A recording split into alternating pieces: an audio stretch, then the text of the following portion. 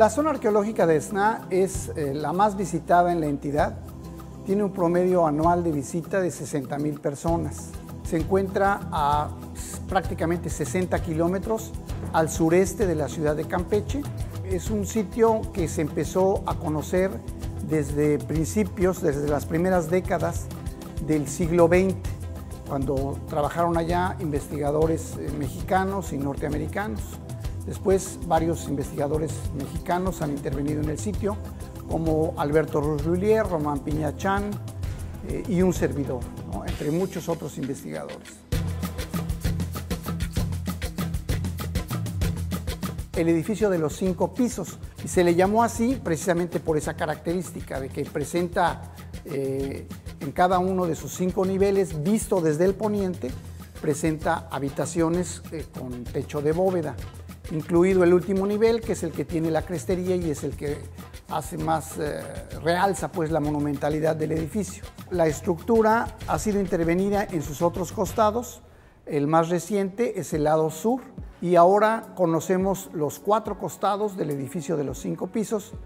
Y pues no tiene, no tiene cinco, tiene más pisos, tiene nueve niveles cuando es visto desde su origen eh, debajo de la, de la gran acrópolis porque visto desde el poniente da la impresión de que se trata de una construcción que desplanta encima de la gran acrópolis, pero cuando uno pasa a la parte posterior, es decir, a la parte oriental, eh, podemos ver, hicimos una cala de aproximación y luego la consolidamos para mostrar que hay varios cuerpos abajo que no habían sido eh, descubiertos. El lado sur era el único costado del edificio que no había sido intervenido y se sospechaba que podía haber problemas de estabilidad para el templo que corona al basamento piramidal.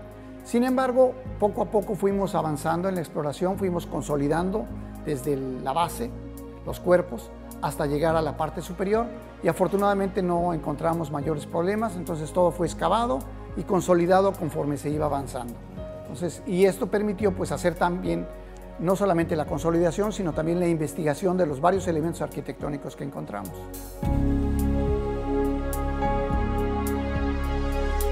Para los mayas prehispánicos era importante las construcciones monumentales, digamos los basamentos piramidales, porque contenían vestigios de los ancestros o contenían ofrendas que eran importantes. Y es por eso que el aumentar la sacralidad aumentaba al mismo tiempo el volumen de la construcción. En Campeche nada más tenemos 16 zonas abiertas a público. No pagan eh, alumnos y maestros con credencial, no pagan personas de la tercera edad, entonces, y los domingos es eh, gratis para todos excepto los extranjeros.